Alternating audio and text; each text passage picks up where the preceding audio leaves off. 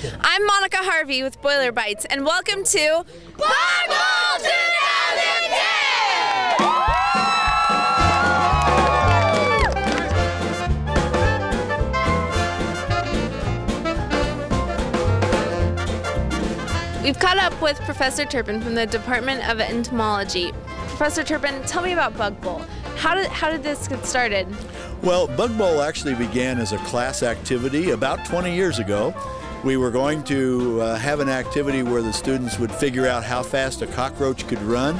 And a local newspaper guy came in, uh, actually worked at a radio station, and he went back to the radio station that night and saying they're having a cockroach race at Purdue and invited the listening audience to come in and we had 150 people from the community came in to join our class and we thought there's not a lot to do in Lafayette, Indiana in the springtime.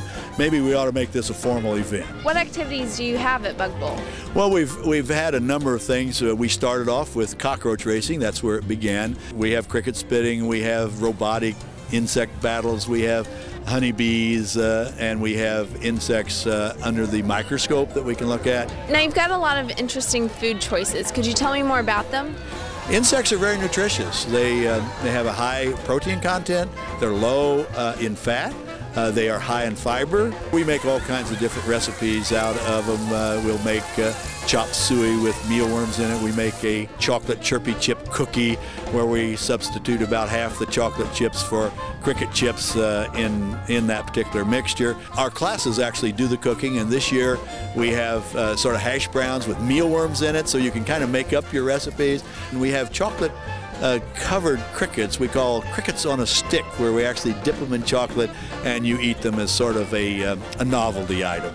Cricket spitting is a crowd favorite. Um, could you tell me more about it? Well, actually, cricket spitting began when we were asking the question, uh, should we have some more activities? And, and, and I thought, you know, people spit things like sunflower seeds and so forth. So we went out and tried it, and they said nobody would spit them. Well, that first year we had 500 crickets and we ran out. And our dean actually got a letter from a mother complaining that her son didn't get a spit of cricket. Okay, Peyton has the cricket in her hand. The circle judge will tell her to put it in her mouth. No part of the cricket showing. That's certified. The circle judge will invite her into the spitting circle. She has 20 seconds to spit her cricket. Bug Bowl has a huge impact on the community. Could you elaborate more on it? We started it to promote an understanding of entomology, but now it's a bigger aspect of trying to get people to think about science in general.